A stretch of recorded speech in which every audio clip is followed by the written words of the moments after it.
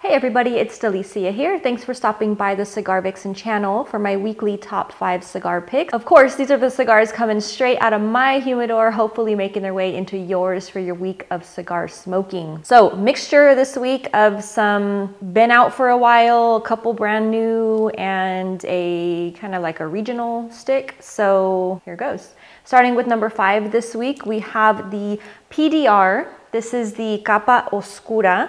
This is by Abe Flores and it's a beautiful looking Maduro. has a nice little closed foot, which I like, and a beautiful pigtail. In fact, it has a a very uh, hefty pigtail, I would call it, to where you actually don't need a cutter at all. You could just pull that little pigtail right off and, you know, happy smoking, all that stuff. So beautiful looking stick. It has a nice rich uh, aroma to the outer layer, even though the majority of it is covered up here with an extra little kind of tissue paper to really protect that wrapper, which is nice. Overall blend itself is featuring an Ecuadorian sun-grown Oscuro wrapper, Dominican Habano binder, Dominican Criollo 98, and Dominican Corojo filler. So this one's gonna give you kind of like a mixture of a hints of sweetness, earthiness, a little bit of cedar, a little light pepper kind of in and out, but really you get those dabs of kind of like that, you know, nice Maduro sweetness effect that goes in and out, you know, while you're smoking it, but really nice. And again, gonna give you a nice rich overall profile. Moving along to number four, we have the Founder Signature Sun Grown. Beautiful, beautiful cigar. I have had it on my list before. Those of you who are familiar with the Wild Bill's um, many different stores out in Michigan, uh, you would hopefully be familiar with the Founder lineup. Again, the Signature Series, um, beautiful offering that's done by Davidoff for the Founder line and just a great, great stick. So again, I urge all of you, I am trying to push for you know, getting them to come out of just in Michigan because I'd love to be able to have to be able to refer you guys to order them, whether it's online or tell you some other places where you could find them. But for now, they are again going to be limited to the Wild Bill locations. But again, if you find yourself in any, you know, place in Michigan, definitely stop into one of the Wild Bill locations and you will be able to find this beautiful Founder Signature Sun-Grown Beauty with an Ecuadorian Habano wrapper, Honduran Criollo on the binder, Honduran Criollo Ligero on the filler. You get the nice blood orange citrus, cinnamon spice, anise, a little bit of cedar, hints of cocoa, just a beautiful, well-rounded, balanced stick. Um, absolutely one of my favorites in the overall Founder lineup. Again, they have a great portfolio for that. So I know there's a lot of you who are watching that are from Michigan. So those of you who are there or have visited um, can probably agree with me on that. But again, stay tuned for more news about that lineup because again, trying to push it to expand a little bit so that everybody can try it. Um, hmm.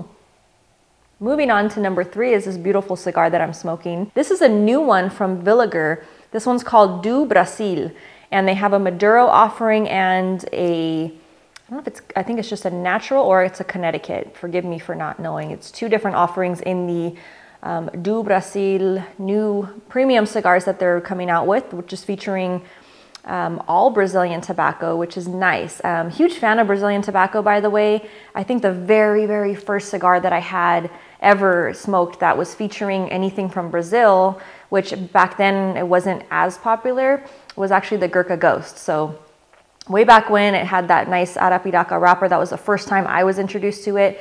Beautiful flavor. This one is also featuring um, a nice flavorful Brazilian Arapiraca wrapper. Not sure of the actual blend. Um, I did get on their website. As I mentioned, it's new, so sometimes that information is slower to come out, but um, yeah, their website just mentions the wrapper and that it's using, um, you know, Brazilian tobacco. So I would jump out and guess that there's a Mata Fina somewhere in here, whether it's part of the filler or maybe the binder, um, just based on that nice little sweetness. But it's giving a beautiful, again, very rich, well-rounded flavor profile. Um, I've only smoked the Maduro, but again, I always lean towards the Maduros anyways. They just have so much flavor.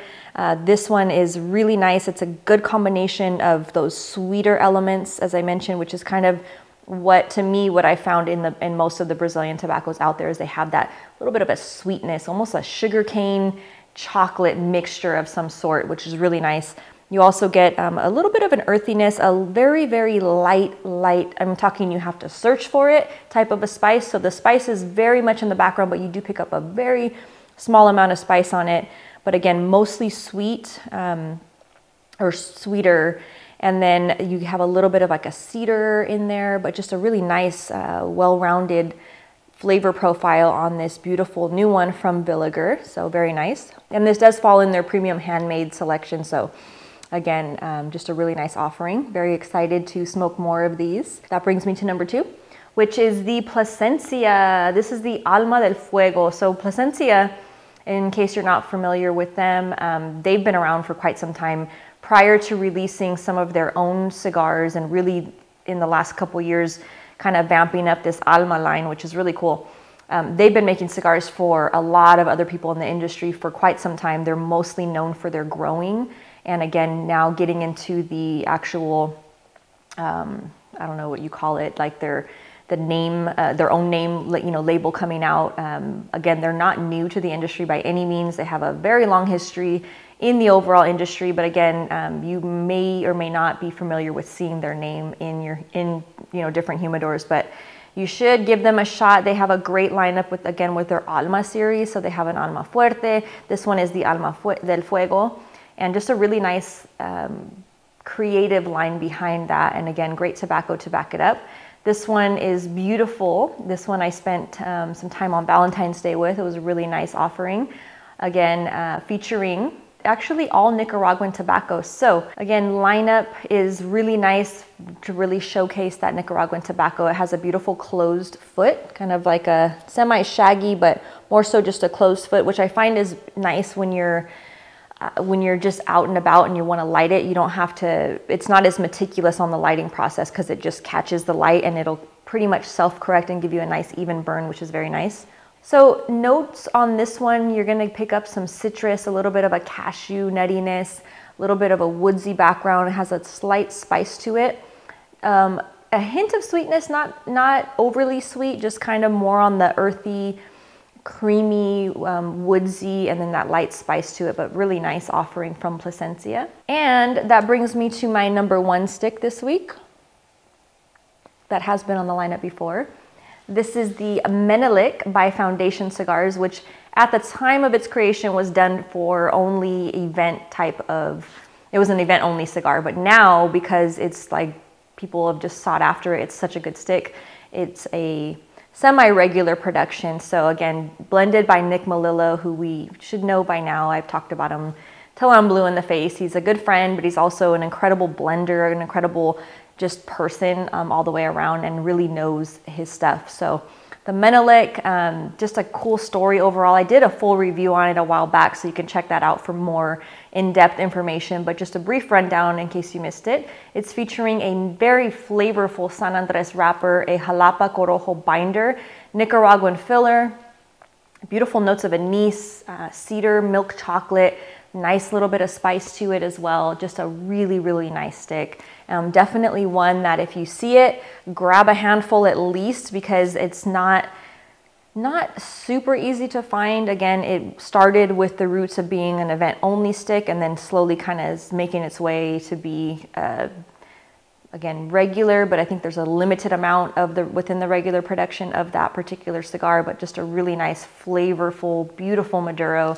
so definitely pick uh, again a handful at minimum if you see them grab some of them. But um, that's it. That's my top five for the week. And I thank you all for watching and tuning in and spending a little bit of your Sunday with me. I do hope you have a fabulous week ahead of you. And be sure to keep posting those comments. I really appreciate all of you who, you know, chime in and post the stuff that you that you've been smoking, that you plan on smoking, all of those good things. And don't forget to tag me on social media, Instagram especially.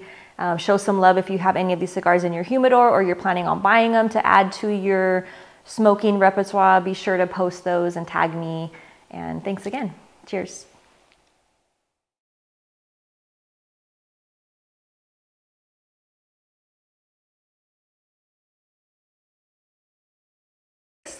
Of course, these are Ups.